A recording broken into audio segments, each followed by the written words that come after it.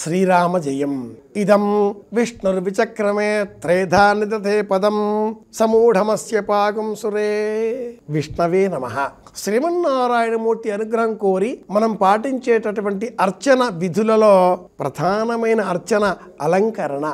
కార్తీక మాసంలో స్వామివారిని అలంకరించే నిమిత్తమై వివిధములైన పుష్పమాలికలతో ఆ స్వామిని ఆనందపరిచే విధంగా వేదికను అలంకరిస్తాం. వివిధములైన నైవేద్యాలను సమర్పిస్తాం. అభిషేక సేవలు ఆచరిస్తాం.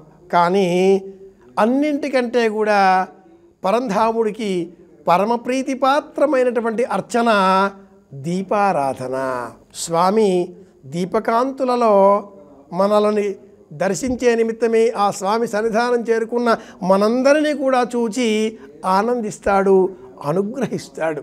స్వామిని సందర్శించే నిమిత్తమై మనమంతా ఒక తహ తహతో స్వామి సన్నిధానం చేరి స్వామి వదనాన్ని చూచే నిమిత్తమై దృష్టులను పరికిస్తూ తటపటాయిస్తూ అటు ఇటు చూస్తూ ఎక్కడ స్వామి అని వెదికే ప్రయత్నం చేస్తాం. ఆ స్వామి దర్శనం మనకు సులభంగా కావాలి అంటే దీపారాధన కావాలి. ఆ దీపం మనస్సులో వెలిగించే దీపం అయి ఉంటే మహాప్రభావవంతంగా స్వామి దర్శనం చేసుకోవచ్చు. కానీ మనస్సులో వెలిగించే దీపం అత్యంత అద్భుతమైన దీపం. ఆ దీపాన్ని మనం వెలిగించాలి అంటే ముందుగా భౌతికంగా ప్రత్యక్షంగా వైరాగ్యతైల సంపూర్ణే భక్తివర్తి సమన్వితే. వైరాగ్యం అనే తైలంతో భక్తి అనే వత్తిని వేసి దేహమనే ప్రమిదలో దైవధ్యానం అనేటటువంటి అగ్నితో దీపాన్ని వెలిగించిన ఎడల పరంధాముని అనుగ్రహంతో ఆ దీపం కాంతులను ఎల్లెడల ప్రసరింపజేస్తుంది. అలా దీపాన్ని వెలిగించాలి అంటే ముందుగా మనం అందరి క్షేమం కోరే నిమిత్తమై అనేక దీపాలను కార్తీక మాసమంతా కూడా వెలిగించాలి.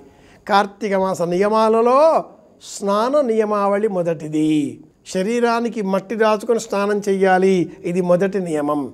దీపారాధన చెయ్యాలి. మట్టి ప్రమిదలో దీపారాధన చెయ్యాలి. ఇది రెండవ నియమం. ఉసిరి చెట్టు వద్ద కానీ బిల్వం మొక్క వద్ద కానీ రాగి చెట్టు వద్ద కానీ తులసి మొక్క వద్ద కానీ దీపారాధన చెయ్యాలి. ఇది మూడవ నియమం. సూర్యోదయానికి పూర్వం లేదా సూర్యాస్తమయం ఆరంభ సమయం ఆ తదుపరి సూర్యాస్తమయం అయిన తర్వాత నలభై ఎనిమిది నిమిషాల లోపల ఈ మధ్యకాలంలో దీపారాధన చెయ్యాలి. దీపం వెలిగించడం ఎవరైనా చేసే పని కానీ దీపాన్ని ఆరాధించడం ఒక ప్రత్యేకం. ఇది ఆరాధన ఇది అర్చన. వెలిగించిన ఆ దీపం ప్రమిద పసుపు కుంకుమల చేత అలంకరింపబడి పుష్పమాలికల చేత పూజింపబడి దివ్యకాంతులను విదజల్లుతూ మనకు అపరిమితమైన ఆనందాన్ని అందిస్తుంది.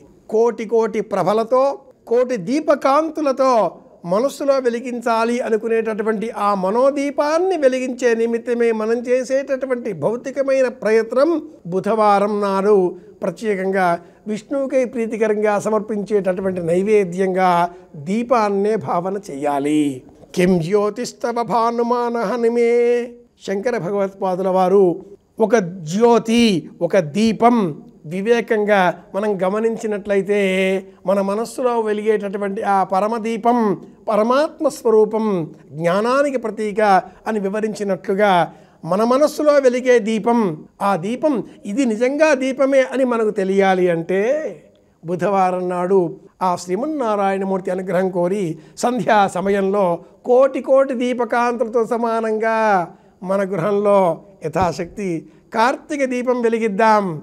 అందరి క్షేమాన్ని కోరుదాం.